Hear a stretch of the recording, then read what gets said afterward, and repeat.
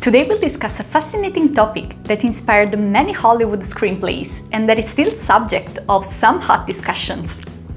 Two words, one concept, and thousands of people who talk about it. Yes, you got it.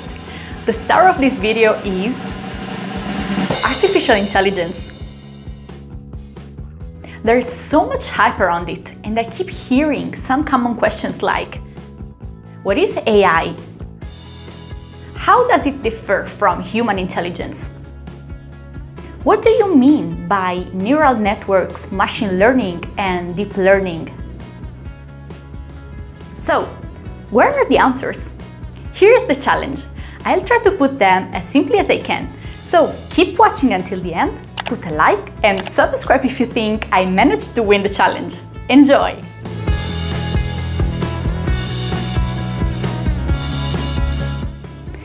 Giving a definition of artificial intelligence is not easy, especially for its many areas of application. But I like the one provided by SAS Software, which states Artificial intelligence is the science of training systems to emulate human tasks through learning and automation. Basically, we can assume that AI-based software provides a probabilistic output, different from the deterministic output that is generated by traditional software. Indeed, software developed following AI principles has a decision-making autonomy that, to a common observer, might seem identical to human abilities. However, it's not even remotely comparable to the intuitive abilities of the individual. If we take the literal meaning of intelligence, we realize how many abilities the human mind has and the Treccani Encyclopedia defined it as a set of psychic and mental faculties that enable human to think, understand, or explain facts or actions, elaborate abstract models of reality, understand and be understood by others, judge, and make human capable of adapting to new situation and of modifying the situation when it presents obstacles to adaptation. Currently, there isn't any software that incorporates all these capabilities. So you are legitimate to ask, is it appropriate to define it as intelligence? True, and it actually would be more accurate to describe it as a great simulation capability.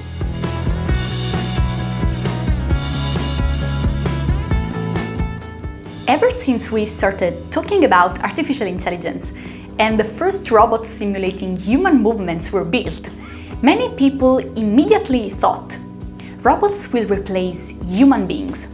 And the movies dealing with this topic certainly didn't help to imagine a different scenario, right? However, those who know the subject well know that machines will never be able to reason like human beings. Moreover, it's not the goal of the research and development studies of this technology. AI emulates some human senses, such as sight and hearing. But there are aspects of human reasoning that are not replicable to artificial intelligence, such as the abilities to define goals and reasons for achieving them, abstract knowledge, or generate empathic feelings independently. A computer scientist and philosopher, Judea Pearl, winner of the Turing Prize in 2011 and known for defending the probabilistic approach to artificial intelligence, affirmed The day when AI will be able to approximate human intelligence is near, but its capabilities must be judged on three levels of cognitive ability seeing, doing, and imagining. AI today works only at the lowest level, which is seeing. I definitely agree with that. And you? If you agree, put a like. And if you don't, well, like it anyway.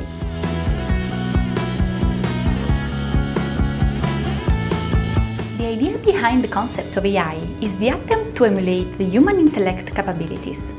Where to start then? Simple from the complex system of neural networks that allow individuals to elaborate activities such as reasoning, learning, reproduction of sounds, words, images, and the ability to act.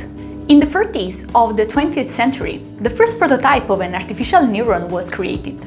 And since then, more and more elaborate systems of artificial neural networks capable of learning and adapting to different purposes have been realized. Artificial neural networks are based on computational models that recreate the typical connections of biological neural networks. The structure is composed of nodes and interconnections in the form of flow. The data are inserted in the input layer, cross the hidden layer, and generate an output in line with the initial design objective. Once the connections are built, we pass to the phase of learning, where the insertion of a set of data happen. And in the case of supervised learning, we also supply the possible final output. Otherwise, in the unsupervised learning, we let the system learn from the generated outputs.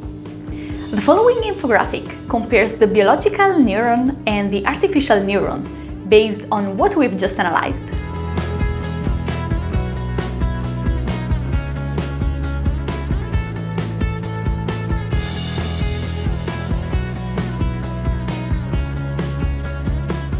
Then we can move forward to deep learning architectures, which are more complex features of neural networks. They involve a much larger number of hidden layers, useful to identify the characteristic of the data. Imagine that in deep learning architectures, we can find, for the most complex cases, more than 150 hidden layers. Okay, let's assume everything is clear. I'm sure you are following me. But in case you're not, comment below and let me know why. Then, there's a key point to highlight. What are the application areas of neural networks and deep learning in business? Well, solutions related to neural networks and deep learning architectures can be applied in most companies. Of course, the greater the amount of data to be managed, the better the response given as output. Some of the applications are natural language processing, which is useful for interactions between computers and humans. In addition to voice recognition, NLP understands and generates natural language. In business organizations, this translates into data optimization through document synthesis and information classification, or computer vision, which is the classification of objects in an image through algorithms able to recognize them, identifying the shape and the color, and extrapolate them from the context. The application of image recognition involves different areas such as security, surveillance, and control of goods. Do you apply any of the above in your company? Leave a comment below and let me know.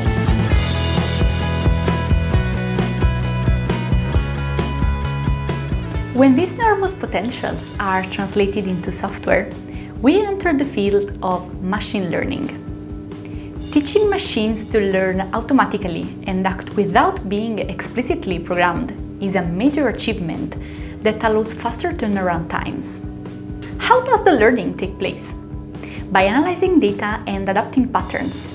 Patterns allow the learning through an experiential path similar to the human one. For example, discarding mistakes and promoting correct actions.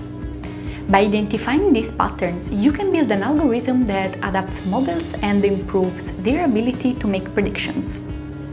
However, when working with software structured with this technology, you must remember the results are not certain, but probable, and it is necessary to carefully evaluate the percentage of data correctness.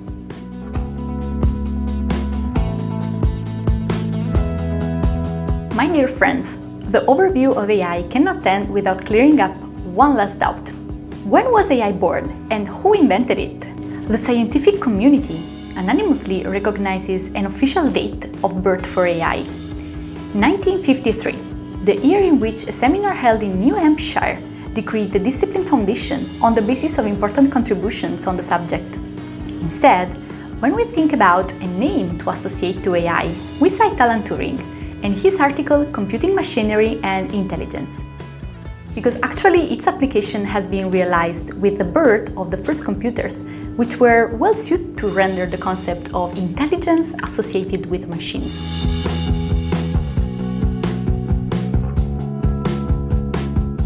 Thanks for watching the video. I hope you enjoyed it. And if you did, subscribe to my YouTube channel. Plus, head over to deltalogix.blog and stay up to date with all about the digital world. See you soon. Ciao!